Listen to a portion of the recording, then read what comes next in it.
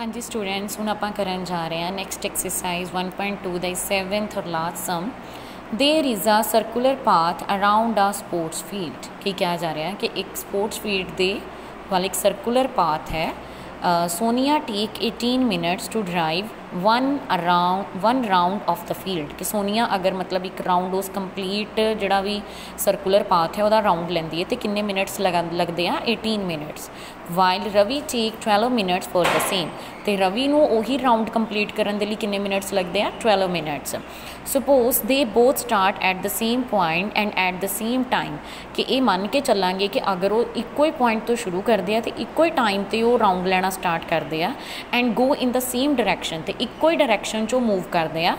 After how many minutes will they meet again at the starting point ਤਾਂ ਕਿੰਨੇ minutes ਬਾਅਦ ਕੀ ਹੋਊਗਾ ਕਿ ਉਹ ਸਟਾਰਟਿੰਗ ਪੁਆਇੰਟ ਤੇ ਇਕੱਠੇ ਜਾ ਕੇ ਮਿਲਣ? ਕਿ ਜਿਵੇਂ ਦੇਖੋ ਕਿ ਇਹ ਇੱਕ ਸਰਕੂਲਰ ਪਾਥ ਹੋ ਜਾਂਦਾ। ਇੱਥੋਂ ਹੀ ਉਹ ਚੱਲਣਾ ਸਟਾਰਟ ਕਰਦੇ ਆ। ਇੱਥੋਂ ਹੀ ਰਵੀ ਜਿਹੜਾ ਆ, ਉਹ ਉਸ ਸਰਕੂਲਰ ਪਾਥ ਦੇ ਦੁਆਲੇ ਰਾਉਂਡ ਲਗਾਉਂਦਾ ਹੈ। ਕਿੰਨੇ ਮਿੰਟਸ ਵਿੱਚ ਕੰਪਲੀਟ ਕਰ ਲਈ ਹੈ ਸੋਨੀਆ? ਸੋਨੀਆ ਕੰਪਲੀਟ ਕਰ ਲੈਂਦੀ ਹੈ 18 ਮਿੰਟਸ ਵਿੱਚ। ਤੇ ਇਸੇ ਇਸੇ ਸੇਮ ਪੁਆਇੰਟ ਤੋਂ ਚੱਲਣਾ ਸਟਾਰਟ ਕਰਦਾ ਹੈ ਰਵੀ ਬਟ ਰਵੀ ਨੂੰ ਸੇਮ ਰਾਉਂਡ ਲਗਾਉਣ ਦੇ ਲਈ ਕਿੰਨਾ ਟਾਈਮ ਲੱਗਦਾ ਹੈ? 12 ਮਿੰਟਸ ਤੇ ਆਪਾਂ ਨੇ ਪਤਾ ਲਗਾਉਣਾ ਕਿ ਕਿੰਨੇ ਟਾਈਮ ਬਾਅਦ ਆਫਟਰ ਕਿੰਨੇ ਆਫਟਰ ਹਾਊ ਮੈਨੀ ਮਿੰਟਸ ਕਿੰਨੇ ਮਿੰਟਸ ਬਾਅਦ ਉਹ ਇਸੇ ਪੁਆਇੰਟ ਤੇ ਆਣ ਕੇ ਦੁਬਾਰਾ ਇਕੱਠੇ ਹੋਣਗੇ। ਰਾਜੇ, ਜਦੋਂ ਵੀ ਇਦਾਂ ਦੀ ਕੰਡੀਸ਼ਨ ਆਉਂਦੀ ਹੈ ਤੇ ਅਸੀਂ ਜਾਂ ਤਾਂ ਉੱਥੇ HCF ਨਿਕਾਲਦੇ ਹਾਂ ਤੇ ਜਾਂ ਕੀ ਨਿਕਾਲਦੇ ਹਾਂ? LCM ਠੀਕ ਹੈ?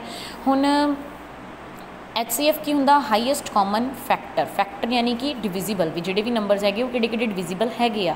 ਤੇ LCM ਹੁੰਦਾ ਲੀਸਟ ਕਾਮਨ ਮਲਟੀਪਲ ਮਲਟੀਪਲ ਯਾਨੀ ਕਿਹੜੇ ਕਿਹੜੇ ਉਹਦੇ ਮਲਟੀਪਲ ਹੈਗੇ ਆ। ਮਲਟੀਪਲ ਯਾਨੀ ਕਿ ਗ੍ਰੇਟੈਸਟ ਹੋ ਜਾਣਗੇ ਤੇ ਫੈਕਟਰ ਯਾਨੀ ਕਿ ਡਿਵਾਈਡ ਹੋ ਜਾਊਗਾ। ਤੇ ਡਿਵਾਈਡ ਹੋ ਕੇ ਤਾਂ ਛੋਟਾ ਹੋਣਾ ਸ਼ੁਰੂ ਹੋ ਜਾਊਗਾ। ਤੇ ਆਪਾਂ ਇੱਥੇ ਕੀ ਨਿਕਾਲਾਂਗੇ? ਇਹਦਾ LCM ਕਿਉਂਕਿ ਫਿਰ ਟਾਈਮ ਤਾਂ ਹੋਰ ਥੋੜਾ ਹੋ ਜਾਣਾ, ਜ਼ਿਆਦਾ ਟਾਈਮ ਬਾਅਦ ਹੋ ਸਕਦਾ ਕਿ ਉਹ ਮਿਲਣਗੇ। ਸੋ ਆਪਾਂ ਇੱਥੇ ਕੀ ਨਿਕਾਲਾਂਗੇ? ਇਹਦਾ LCM ਸੋ ਸਭ ਤੋਂ ਪਹਿਲੇ ਆਪਾਂ ਲਿਖ ਲਵਾਂਗੇ time taken by Sonia. Sonia ਨੂੰ ਕਿੰਨਾ ਟਾਈਮ ਲੱਗਦਾ ਹੈ ਉਸ ਨੂੰ ਕੰਪਲੀਟ ਕਰਨ ਦੇ ਲਈ?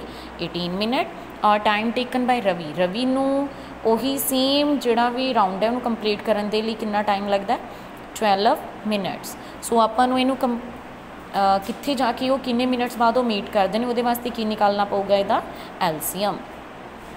To find L C M of 12 and 18 so ਸਭ ਤੋਂ ਪਹਿਲੇ ਆਪਾਂ ਐਲਸੀਐਮ ਨਿਕਾਲਾਂਗੇ 18 ਔਰ 12 ਦਾ ਫਸਟ ਆਫ ਆਲ ਈਵਨ ਨੇ ਤਾਂ 2 ਤੇ ਜਾਵਾਂਗੇ 2 9 ਆ 18 2 6 ਆ 12 2 3 ਆ 6 ਦੈਨ 3 ਤੇ ਜਾਵਾਂਗੇ 3 3 ਆ 9 3 1 ਆ 3 3 1 ਆ 3 ਤੇ ਐਲਸੀਐਮ ਨਿਕਾਲਣ ਲਈ ਆਪਾਂ ਨੇ ਕੀ ਕਰ ਦੇਣੀ ਇਹਨਾਂ ਨੂੰ ਮਲਟੀਪਲਾਈ 2 2 3 3 2 2 ਆ 4 3 3 ਆ 9 9 4 ਆ 36 ਯਾਨੀ ਕਿ ਆਫਟਰ 36 ਮਿੰਟਸ 36 ਮਿੰਟਸ ਬਾਅਦ ਕੀ ਹੋਊਗਾ?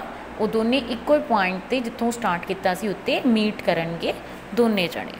ਰਾਈਟ ਬੇਟਾ? ਇਦਾਂ ਦੀ ਸਿਚੁਏਸ਼ਨ 'ਚ ਹਮੇਸ਼ਾ ਜਾਂ ਤਾਂ HCF ਨਿਕਾਲਿਆ ਜਾਂਦਾ ਹੈ ਤੇ ਜਾਂ LCM ਨਿਕਾਲਿਆ ਜਾਂਦਾ ਹੈ। ਸੋ ਆਪਾਂ ਦੇਖ ਲੈਣਾ ਕਿ ਉਹ ਨੰਬਰ ਵੱਡਾ ਹੋਊਗਾ ਜਾਂ ਛੋਟਾ ਹੋਊਗਾ। ਅਗਰ ਤਾਂ ਉਹ ਵੱਡਾ ਹੁੰਦਾ ਆ, ਤਾਂ ਆਪਾਂ ਕੀ ਨਿਕਾਲਾਂਗੇ? LCM ਸਾਨੂੰ ਪਤਾ ਇੰਨਾ ਕਿ ਸਿਚੁਏਸ਼ਨ ਆਪਾਂ ਸਮਝ ਲੈਣੇ ਅਗਰ ਉਹ ਛੋਟਾ ਹੋਊਗਾ, ਤਾਂ ਕੀ ਨਿਕਾਲਾਂਗੇ? HCF ਰਾਈਟ ਬੇਟਾ?